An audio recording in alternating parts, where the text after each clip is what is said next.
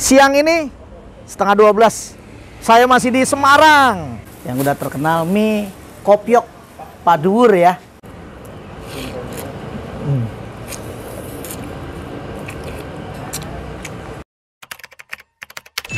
Mantu Maruko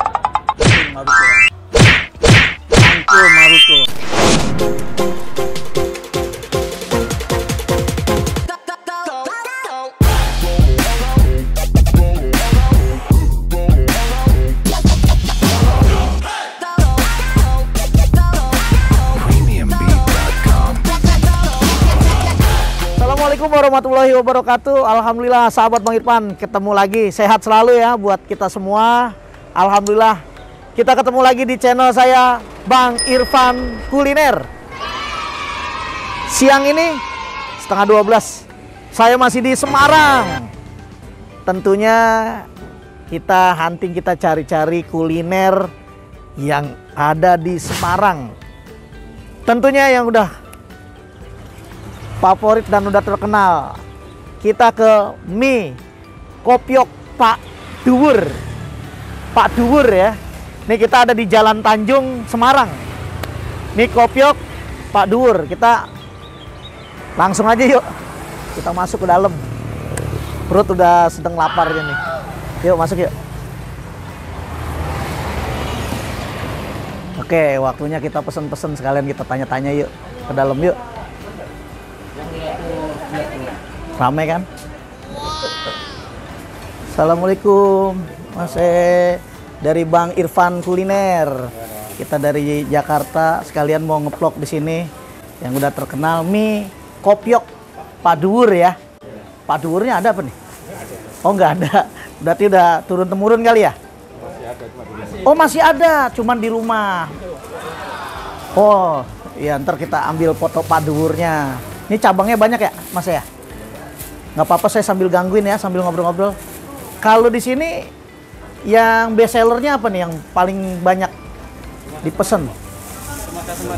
Oh cuma satu macem, cuma satu macem. Makanya ini best sellernya udah cuma satu macem, makanya terkenal dan luar biasa. Jam segini udah rame. Kita pesen deh, lima. Kalau dia sambalnya terpisah atau gimana? Oh terpisah sendiri ya. Oke, saya pesen lima ya. Kalian minum pak?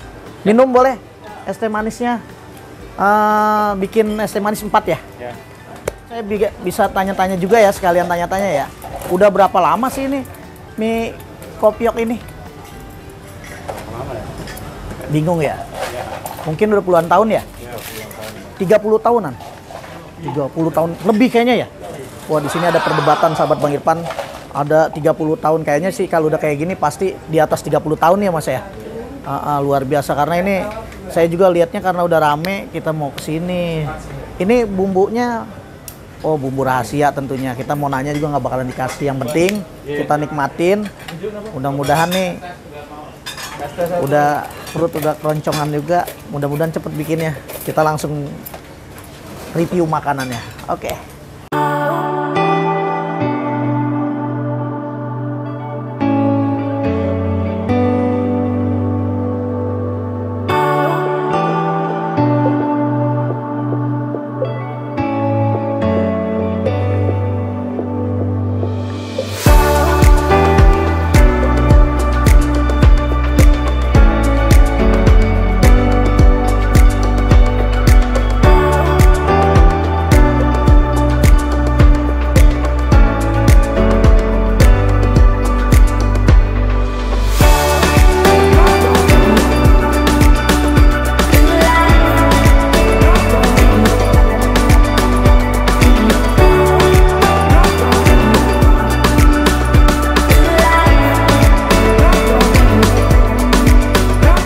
Oke, sahabat Bang Irfan, pesanan kita udah sampai.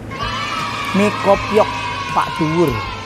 Ternyata di Jakarta juga ada cabangnya, Jakarta Timur. Ini kita mau coba review Bismillahirrahmanirrahim. Ternyata dia pakai tahu ya. Ini tahu keru- kerupuk, terus sama ada ketupat. Ini ada ketupat ketupatnya. Nih saya udah nggak sabaran coba saya coba cicipi dulu. Sebelumnya kita makan makan makan Bismillahirrahmanirrahim. Allahumma barik lana fi ma razaqtana wa qina adzabannar.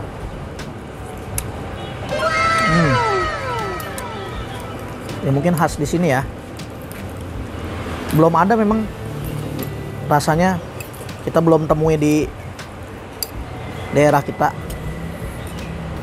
Ini mie-nya dia gede-gede. Bismillah. Hmm.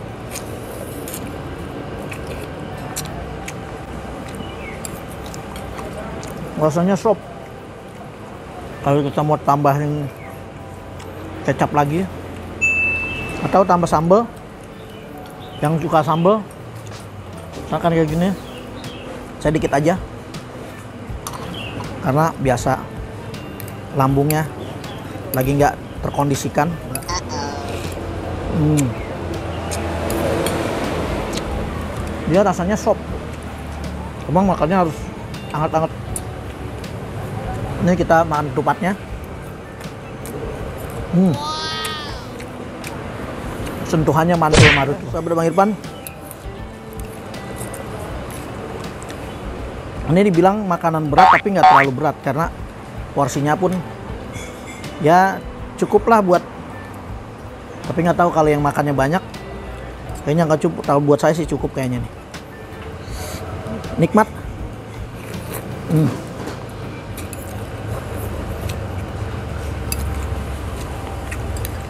Datang sini. Ke Jalan Tanjung. Semarang. Ini khas Semarang ya? Khas Semarang. Ini tahunya nih. Sobat Irfan ini tahunya kayak kalau ini tahu Sumedang kali ya? Daerah sana. Hmm. kalau yang suka pedas sambalnya dia nggak pedas kalau yang buat sambalnya pedas pakai sambalnya. Bisa diaduk sambalnya. Ini tahunya enak. Mie nya enak nyambung dia. Hmm.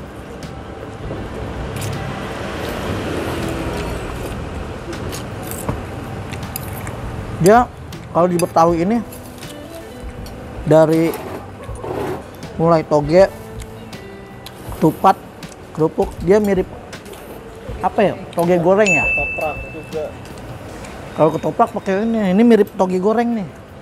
Sotoy kameramen ini mirip toge goreng. Bedanya kalau toge goreng dia pakai apa namanya? Apa ya? Toge goreng. Bumbu kacang. Apa namanya itu hmm, ya itulah. Tuco tuco kali ini lebih kuah ya? Hmm, mirip-mirip toge goreng. Mirip-mirip toge goreng. Tapi ini lebih rasanya lebih sop. Enak. Mandu maruto jadi sahabat bang Ipan kalau yang mau nyobain ke sini datang ke Jalan Tanjung nomor 18A Semarang mie kopiok Pak Dur mantul maruto ya sahabat bang Ipan saya mau tulisin yang pasti enak makanannya karena ini dari turun temurun hampir udah 30 tahun. amazing Jangan lupa yang mau datang sini datang makan langsung ke Semarang. Tapi kalau yang daerah Jakarta penasaran ke Semarang jauh ada di Jakarta Timur katanya. Sahabat Bang Irfan ini sambil menikmati mie kopiok Pak Dur.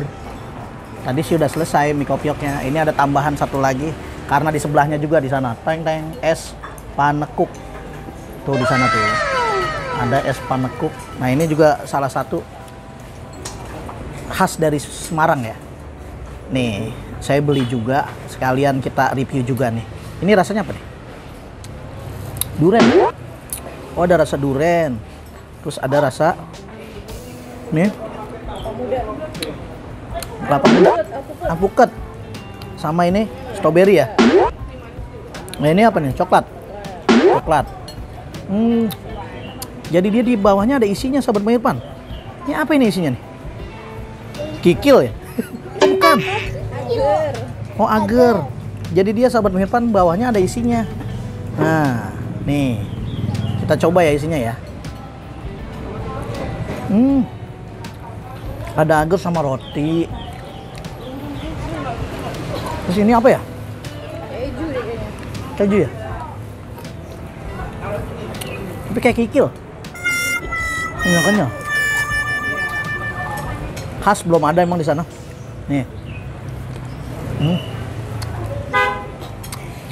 Enak lah sebenarnya. Sahabat Bang Irfan. Kalau main ke Semarang, jangan lupa nih es panekuknya. Saya makan dengan ini.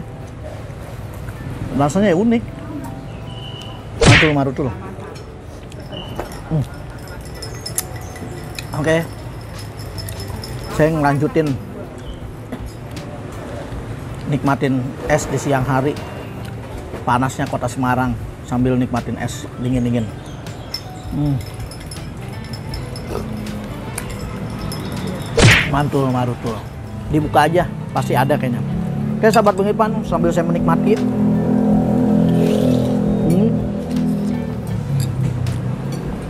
Udah mau habis juga. Saya tutup. Jangan lupa subscribe, like, comment, share sebanyak-banyaknya. Oke sahabat Bang Irfan, terima kasih. Assalamualaikum warahmatullahi wabarakatuh.